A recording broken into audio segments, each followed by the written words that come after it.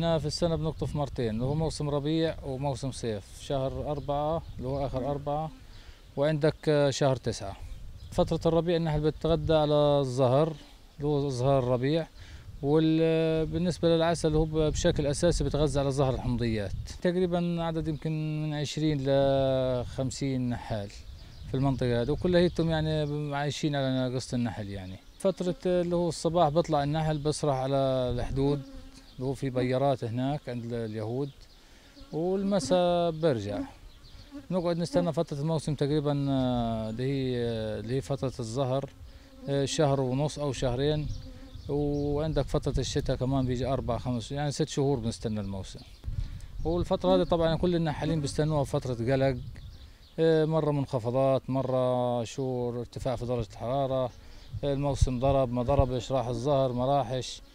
والله العسل آه، بنطلع جودة ممتازة يعني. في بعض النحالين يعني بيطلعوا جودة ممتازة جدا جدا. خصوصا منطقة خزاعي بتطلع أجود عسل في قطاع غزة.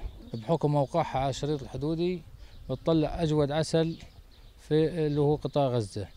آه، لكن المشكلة إيش اللي بتواجهنا إحنا؟ مثلا بنطلع عس- عسل ممتاز جدا.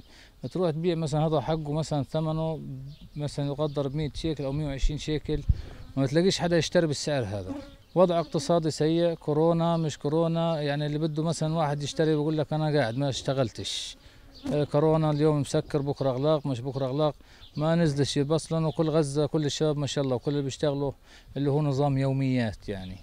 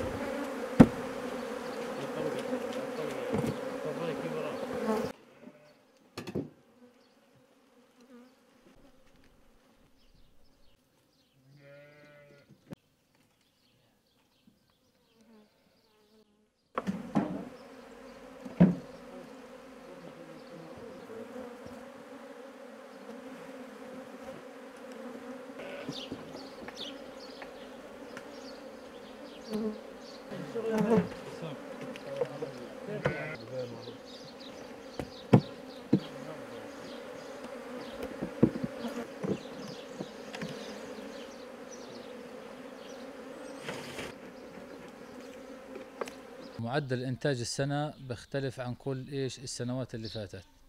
يعني بنعتبرها إحنا السنة أسوأ سنة بتمر علينا. اللي هو يعني في السنوات ال- الماضية كان معدل الإنتاج من 10 ل 15 كيلو من 7 ل 15 كيلو الخليه الممتازه بترمي.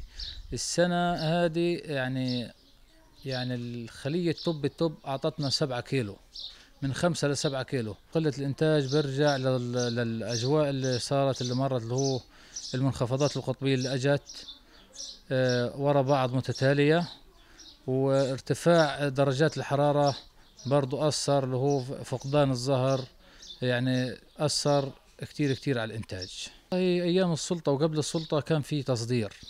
كان النحالين اللي كانوا في هذاك الوقت كانوا يصدروا على دول الخليج على السعودية ودول الخليج. كانوا بيبيعوا العسل ب يعني بأسعار عالية جدا جدا. كانوا بيستفيدوا. بس إحنا في وقتنا هذا ال ال الإنتاج اللي بنطلعه إحنا أو كلنا حاليا قطاع غزة ما بكفيش للمستهلك في القطاع. عملية الفرز تستغرق وقت طويل. أول إشي بنروح نطلع البراويز من النحل بننقلها على المكان المخصص لفرز العسل.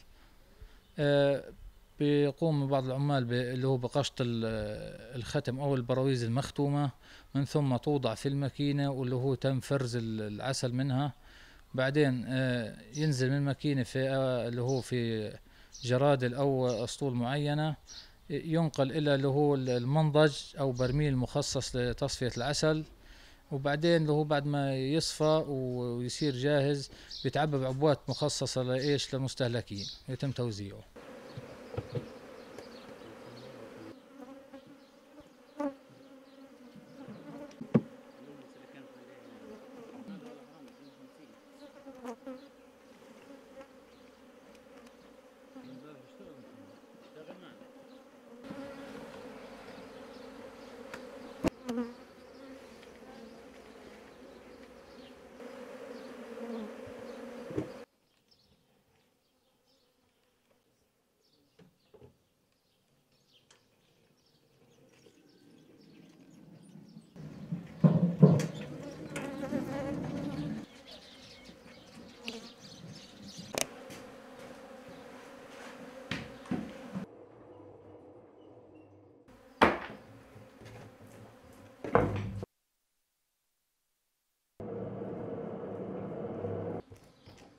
التأليف في